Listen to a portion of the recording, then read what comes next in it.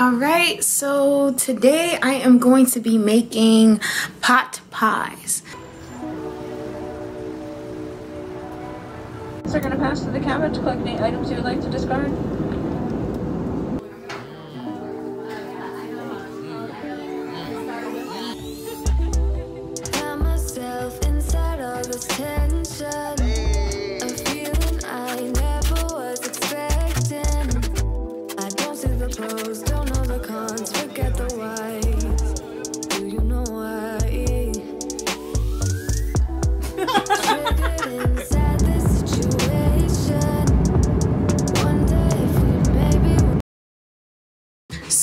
Well, not pot pie, it's not plural, it's gonna be a pot pie. And this is going to be mushroom onion pot pie. So, I make this all the time.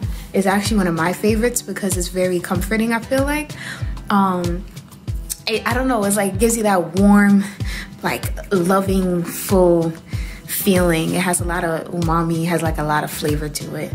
So, I'm very excited to share this recipe with you guys. So, let's get started. So don't mind the fact that this is not completely clean. I just finished making um, pie crust for another video, but the ingredients are basically the same. I don't feel like washing 10,000 dishes, so this is what we're about to do. Now, I'm just gonna prep this to make my life easier. So I'm putting two cups of white spelt flour if you would like, you could do one and a half cups of spelt flour and then half a cup of chickpea flour.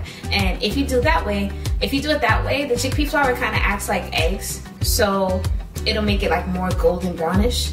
But I'm running out of chickpea flour. I don't want to waste my precious chickpea, chickpea flour because that's what I make my chickpea burgers with and Donivan has to eat lunch tomorrow. So this is um, gonna just be fully white spelt flour. Uh, the white spelt flour that we use is Vita Spelt. Right now, this is one fourth of a teaspoon of sea salt, one fourth of a teaspoon of dill, one fourth of a teaspoon of ginger, one fourth of a teaspoon of cayenne pepper. So sad to see this go. Cayenne pepper really, like this really be like, ah, it just, the flavor is immaculate. It's just amazing one teaspoon of onion powder,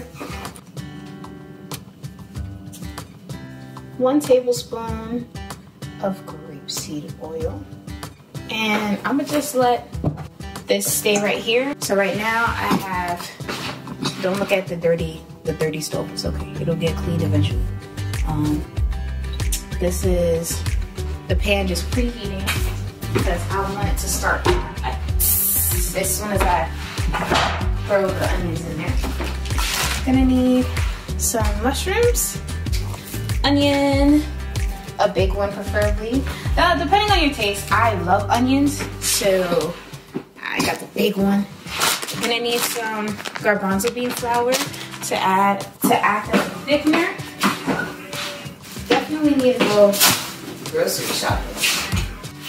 Bell peppers would be great in this too, but we don't have any. And if you want, you could also like spice it up.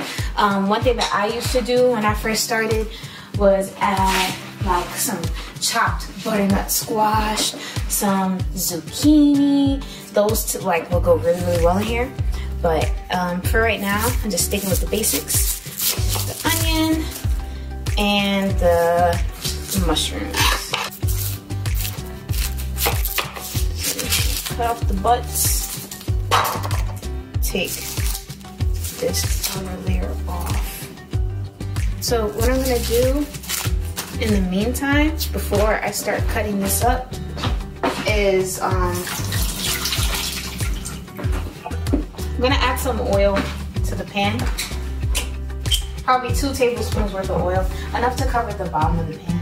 Let's get chopping.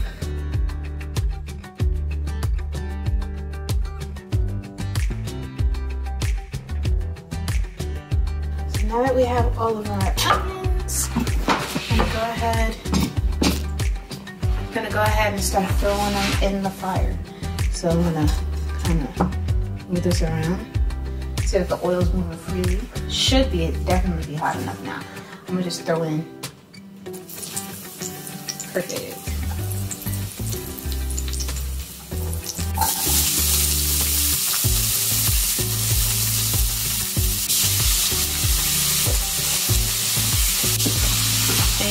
Go ahead and allow the onions to saute. I like using yellow onions. I've never tried using red onions for this, but I'm gonna be giving that a try soon. So I like to take this time start rinsing off my mushrooms because I don't know if you read the nonsense blog, um, food blogs that say don't rinse off your, your, your mushrooms. Definitely need to rinse those off because there's dirt in here. Like. And just so you guys know, um, in case you weren't aware, organic means that there's no GMOs in there. Um, but if it only says non-GMO and it does not say organic, it may not be the healthiest thing for you because there still might be pesticides and all that stuff used, while organic does not have any of that. So just like a heads up something that I learned recently. And another tip too, if you shop at Whole Foods, always, if you're looking for organic foods, it's always gonna be in the green packaging. So let's say that you're going to get kale, regular kale, or green beans, or whatever you're looking for, if it's in a packaging, it's always gonna say, um, it's always gonna be in a blue packaging if it's not organic. If it is organic, it's in green packaging. Same thing goes for the produce. If the produce has a white um, background where it tells you the price on the paper, then it is not organic. If it is a green paper, it is organic. So, just so you know that everything at Whole Foods doesn't just come organic. It's time to chop them.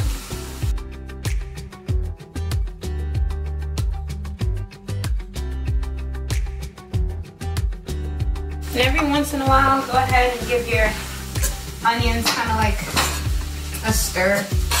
I'm just gonna start throwing in my mushrooms. Yeah, be having to turn the light on. But as you can see, maybe you can see it better with the light. Yeah. The onions are already starting to kind of like release juices into the oil. Kinda ish. Anyways. Oh, not the mushrooms, the onions. And then just whoop, stuff those in there. And you want to cook these until you start to see um, the mushrooms release its water. See what looks better. And if you notice, I don't really cut the mushrooms up um, too fine because mushrooms can be very flavorful and that's something that you'll realize in this recipe. So you don't want to cut them up too fine because then you won't really release that flavor the same way. Oh, little cameo. Say hi to bread. so in the meantime, while that's cooking, we're gonna return here back to our flour mixture. I'm gonna start adding water until you get to this consistency. I don't know how much water that is. Just try to get to that consistency that you see me have.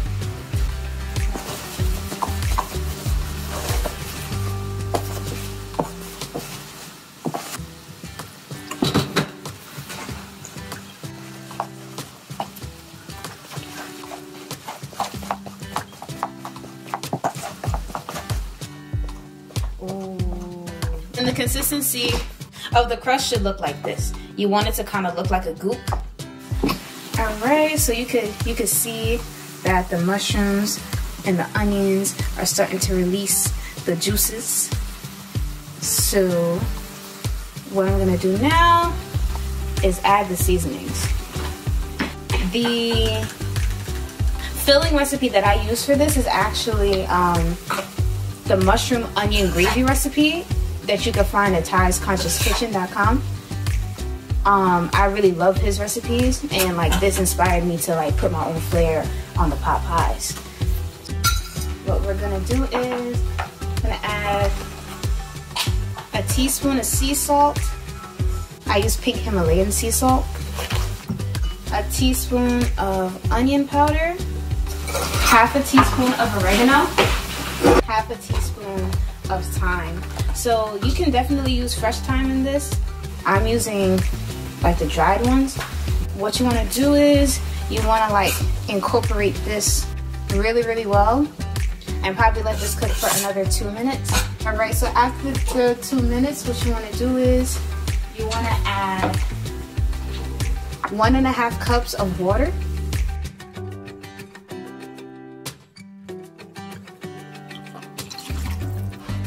Oh, and then once you add the water in, you also wanna go ahead and add cayenne pepper. You can add it to your taste. Um, the recipe I think calls for a quarter, no, uh, yeah, a quarter of a teaspoon of cayenne pepper. I feel like that's a lot. So I kind of just be dashing until it look right. So yeah, that's a couple dashes of cayenne pepper.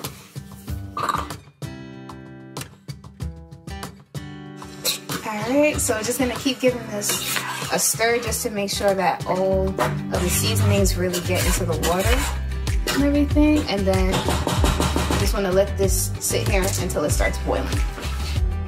So at this part, you can see like the bubbles and everything. So that means that it's starting to boil. So I just want to keep stirring it around, just making sure all the flavors mixed in there. And it really, at this point, it smells really, really good, like really good.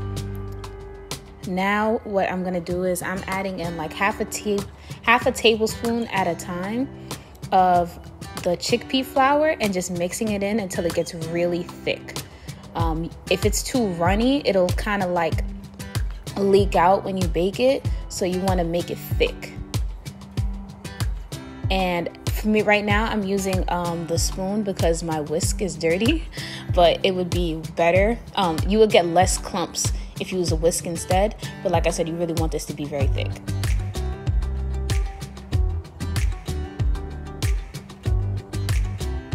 So now we're gonna pour that batter. Um, I wanna say close to half of it at the bottom. Um, and you just wanna spread it out and make sure that it's even. Then after that, we're gonna add in our filling. And boom, now that our filling's in, you want to go ahead and pour the rest of the crust on top. And you you don't want to pour like you gonna you kind of want to move around while you pour it to just make sure that it coats the whole thing.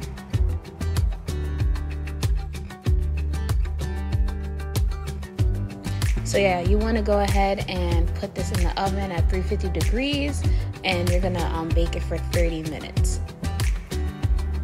So this is how the pot pie came out.